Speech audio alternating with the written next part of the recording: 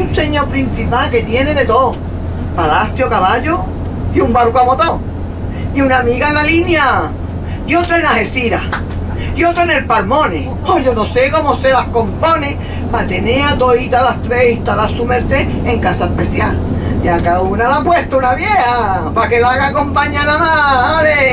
Y es mucho milón. A todos lados avanzó. Dicen que es el amo, vaya. El principal de una sociedad para el trato chipén. Y con libras, uh, para parar un tren. Él no da la cara, ¿para qué? La cosa no es clara.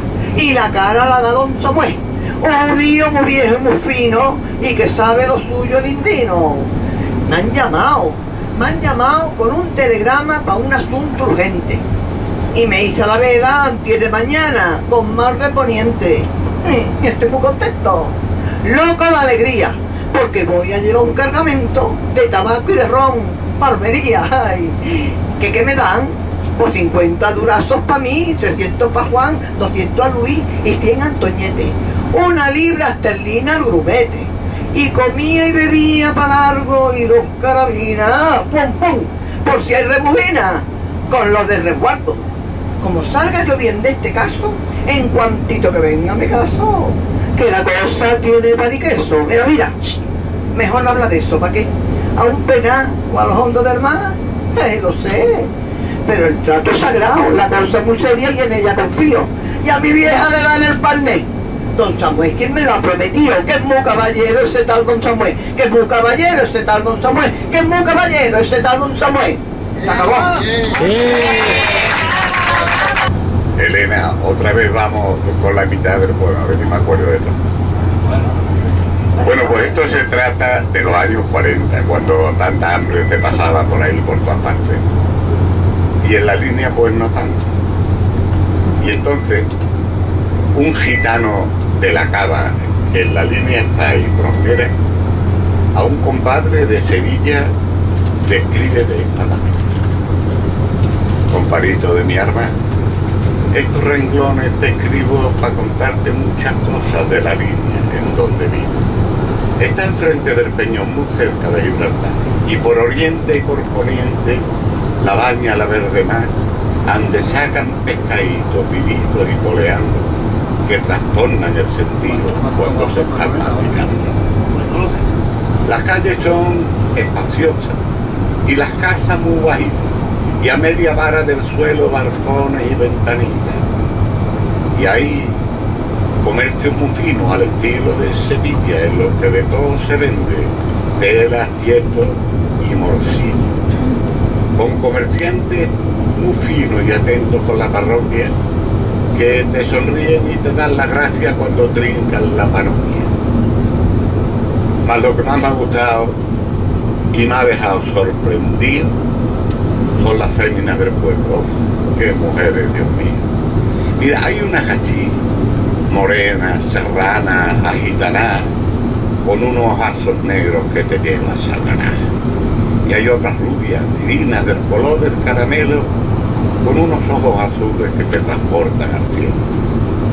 Te lo prometo, compadre, que las hembras de Sevilla con toda su fama no llegan a las hembras de la línea porque aquí son elegantes, tienen gracia, salero, palmito, hechura, y mira, y hasta las feas se arreglan de un modo tan especial que le endirgan la castaña hermosito más un canto. Antes, dicen por aquí que se vivía de barrio y que el que ganaba un duro vivía mejor un alcalde. Esos tiempos han acabado y también hay carestía, pero así todo, aquí se pasa mejor que por ahí Porque aquí no hay señoritos de esos que viven tumbados, explotando en su provecho a un millar de desgraciados, no. Aquí hay gente con paneles, pero viven del negocio y se tratan con el prove como si fuera su socio.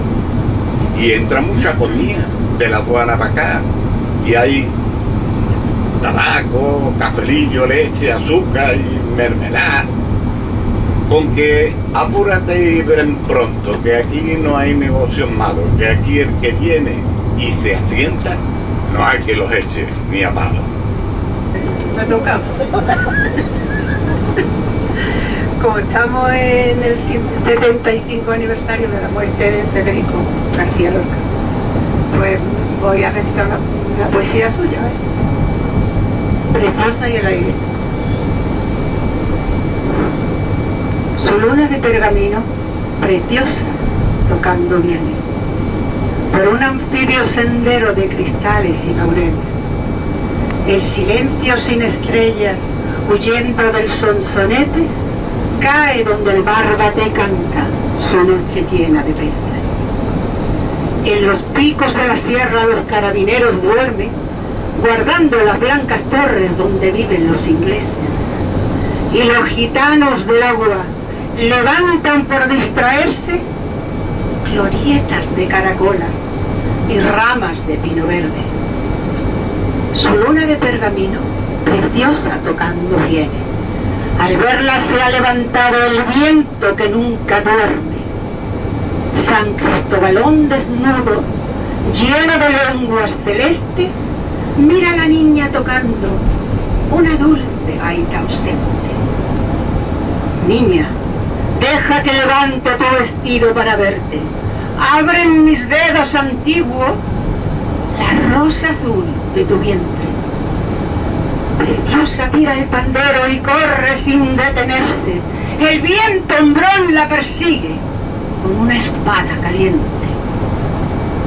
Brunce su rumor el mar. Los olivos palidecen, cantan las flautas de umbría y el lisogón de la nieve. Preciosa, corre preciosa, que te coge el viento verde. Preciosa, corre, preciosa, míralo por donde viene. Sátiro de estrellas bajas, con sus lenguas relucientes. Preciosa llena de miedo, entra en la casa que tiene, más arriba de los pinos, el cónsul de los ingleses. Asustados por los gritos, tres carabineros vienen, sus negras capas ceñidas y los gorros en las sienes. El inglés a la gitana un vaso de tibia leche y una copa de ginebra que preciosa no se bebe. Y mientras cuenta llorando su aventura aquella gente en las tejas de pizarra, el viento furioso muerde.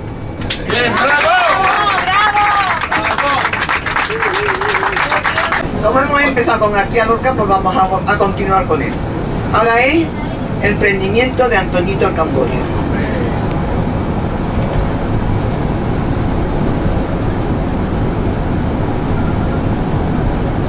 Antonio Torres. Antonio Torres Heredia, hijo y nieto de Camborio. Con una vara de mimbre va a Sevilla a ver los toros. Moreno, de verde luna anda despacio y garboso. Sus empavonados bucles le brillan entre los ojos y a la mitad del camino cortó limones redondos y los fue tirando al agua hasta, hasta que la puso y a la mitad del camino, bajo las ramas de un olmo, guardia civil caminera, lo llevó codo con codo. El día se va despacio. La tarde, colgada a un hombro, dando una larga torera sobre el mar y los arroyos. Las aceitunas aguardan la noche de Capricornio y una corta brisa ecuestre salta los montes de plomo. Antonio Torres Heredia hijo y nieto de Camborios, viene sin vara de mimbre entre los cinco tricornios. Antonio, ¿quién eres tú? Si te llamaras Camborio, habrías hecho una fuente de sangre con cinco chorros. Ni tú eres hijo de nadie, ni legítimo Camborio. Se acabaron los gitanos que iban por el monte, solos. Ya están los viejos cuchillos tiritando bajo el polvo. A las nueve de la noche lo llevan al calabozo. Mientras los guardias civiles beben limonada todos. Y a las nueve de la noche le abren el calabozo. Mientras el cielo reluce como la grupa de un potro. Fue a confesar a un gitano por ver primera en su vía y el cura, queriendo ver que sabía de doctrina, va y le pregunta, ¿sabes cuántos dioses hay? Aquel gitano que piensa y dice, o habrá 14.